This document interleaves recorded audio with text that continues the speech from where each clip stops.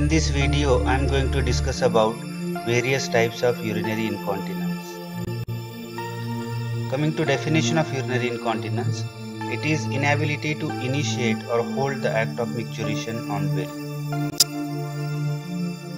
There are various types of urinary incontinence. First one is true incontinence, second is false incontinence, third one is stress incontinence, fourth one is urge incontinence, fifth one is nocturnal enuresis, sixth one is functional incontinence, seventh is temporary incontinence, and last and eighth is mixed incontinence.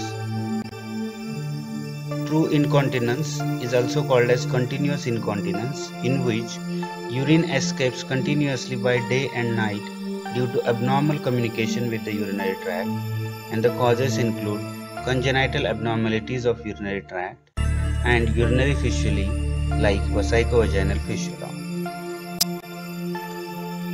The false incontinence is also known as overflow incontinence, in which there is involuntary loss of urine following over distension of the bladder. The causes include after vaginal delivery, diabetes, neurological diseases like autonomous bladder, severe genital prolapse, and post surgical obstruction. Stress incontinence is also known as sphincter incontinence and it is most common type of incontinence seen in 50% of women. It occurs when pressure in the abdomen is greater than the pressure needed to keep the urethra closed. And the causes include weakening of bladder neck muscles and tissues occurring after childbirth, around the time of the menopause, or in some women because of weak tissues. Functional incontinence is a type of incontinence occurring due to limitations in mobility, thinking, or communication. The causes include older adults with arthritis, Parkinson's disease, Alzheimer's disease. Sometimes incontinence comes and goes, and this type of incontinence is called as temporary incontinence.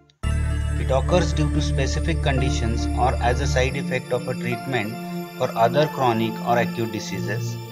The causes include severe constipation, infections in the urinary tract, and certain medications such as diuretics, muscle relaxants, narcotics, antihistamines, antidepressants, antipsychotic drugs, or calcium channel blockers. Nocturnal enuresis or bedwetting is normal until the age of 5 years. If it is seen after 5 years, it is often due to inherited disorder with a delay in neurological control of the bladder. Next type of urinary incontinence is urge incontinence. In this type of incontinence, there is sudden, intense urge to urinate and patient has to rush to toilet. Associated frequency and precipitancy can occur.